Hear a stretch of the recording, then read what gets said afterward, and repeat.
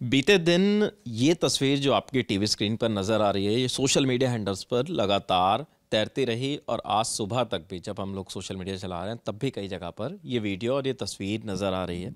इसमें एक पुलिस वाले हैं जो कि महिलाओं पर पिस्तौल तानते नज़र आ रहे हैं। बीते दिन आपने ये भी जाना, इस पर हमने वीडियोस भी बनाए कि मामला कहाँ का है, क्या है। मेरे साथ, मेरे साथी विकास वर्मा है इस वक्त।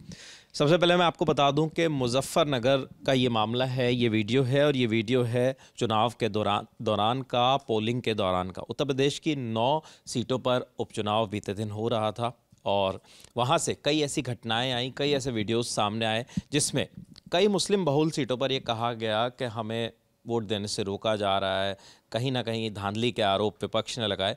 विकास हैं विकास इस मामले में क्या नए अपडेट्स हैं क्या पुरानी जानकारी है वो आप हमें पूरा बताइए मामला देखिए मुजफ्फरनगर की मीरापुर विधानसभा थी जहाँ पर उपचुनाव है ऐसे नौ सीटों पर जैसे आपने बताया उपचुनाव है।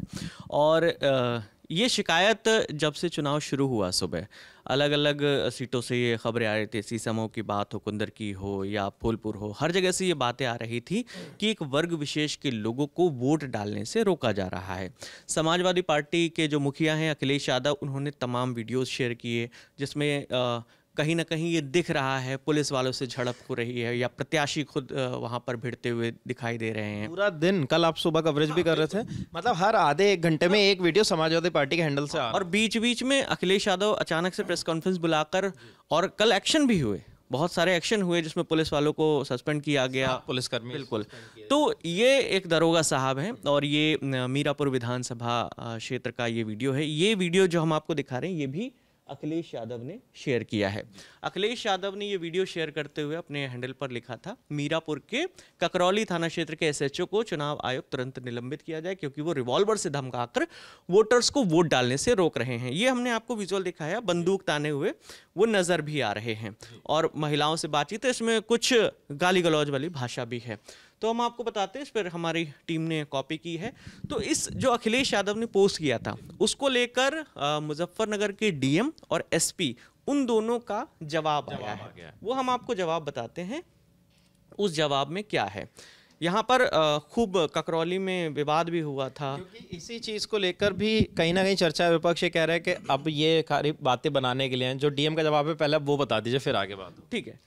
डीएम ने जो अखिलेश यादव ने ट्वीट किया है उसी ट्वीट के रिप्लाई में डीएम ने जवाब दिया है। लिखते हैं अवगत कराना है कि आज दिनांक 20 ग्यारह 2024 को मीरापुर विधानसभा उपचुनाव के दौरान सूचना प्राप्त हुई कि थाना क्षेत्र ककरौली के ग्राम ककरौली के पास दो पक्षों के बीच झगड़ा हो गया। इस सूचना पर पुलिस बल तत्काल मौके पर पहुँचा।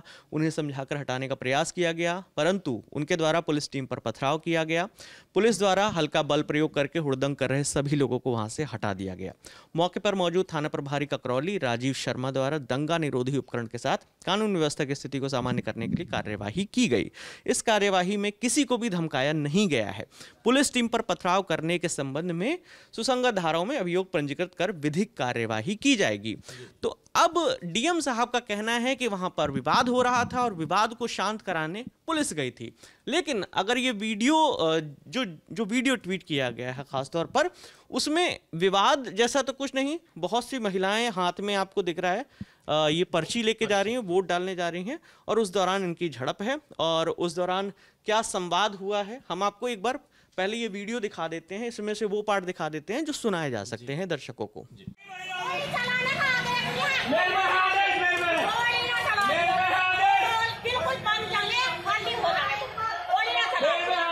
यही तो मारने के हैं आदेश यही तो मारने का आदेश है यही तो मारने का आदेश है चलो चलो।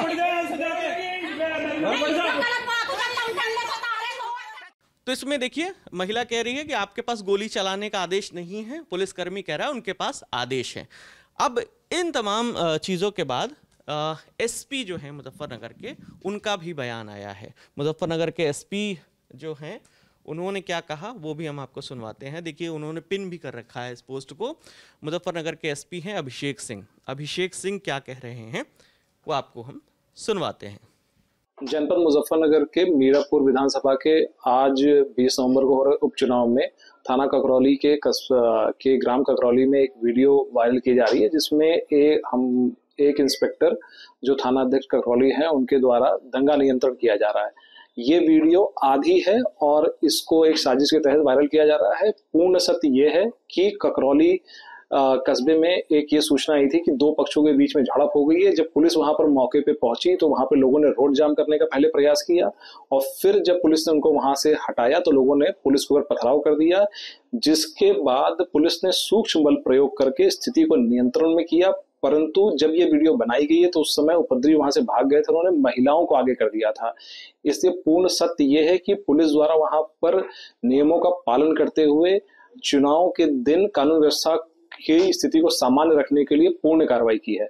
इस प्रकरण में जिनके द्वारा भी पथराव किया गया है या उपद्रव किया गया था, उनके विरुद्ध एफआईआर पंजीकृत कर कठोर वैधानिक कार्रवाई की जाएगी।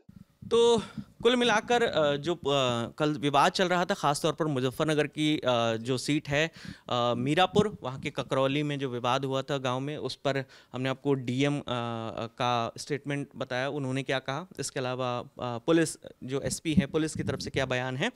तो हम आपको बता देते हैं कि यहाँ पर पाँच बजे तक वोटिंग का हम एक बार नौ सीटों का जो डेटा है हमारे पास वो भी बता देते हैं। मीरापुर में सत्तावन दशमलव ज़ीरो दो प्रतिशत मझवा में पचास दशमलव चार एक प्रतिशत खैर में छियालीस दशमलव तीन पाँच प्रतिशत फूलपुर में तैंतालीस दशमलव चार तीन प्रतिशत कुंदरकी में सत्तावन दशमलव तीन दो प्रतिशत करहल में तिरपन दशमलव नौ दो प्रतिशत और कटहरी में छप्पन दशमलव छः नौ प्रतिशत गाजियाबाद में तैंतीस दशमलव तीन ज़ीरो प्रतिशत और सीसामऊ, कानपुर की जो सीट है, चालीस दशमलव दो नौ प्रतिशत वोट डाले गए हैं। और जैसा आपको पता है, आज इक्कीस तारीख को ये वीडियो रिकॉर्ड हो रहा है सुबह और तेईस तारीख को, यानी परसों इसके नतीजे आएँगे। और एक सीट पर चुनाव फ़िलहाल नहीं हुआ है, वहाँ पर कोर्ट का स्टे है इस वजह से वहाँ पर मामला चल रहा है कोर्ट में, इस वजह से वहाँ पर चुनाव नहीं हो रहा है। तो कुल मिलाकर ये अपडेट है, समाजवादी पार्टी की ओर से जो कल आरोप लगाएगा इस सीट को लेकर, उस पर डीएमएसपी का। ये बयान है। जी, ये बयान सामने आए हैं और लगातार पूरे दिन कल समाजवादी पार्टी की तरफ़ से ये आरोप लगाते गए कि कहीं ना कहीं चुनावों में धांधली हो रही है। कुंदरकी की जो सीट है, वहाँ का चुनाव उन्होंने रद्द करने की मांग की है और ये वोटिंग प्रतिशत भी आपको किन किन सीटों पर कैसा रहा, ये भी आपको जानकारी दे दी है। तो इस पर अब डीएम का जवाब आ गया है, जो वीडियो कल से वायरल था।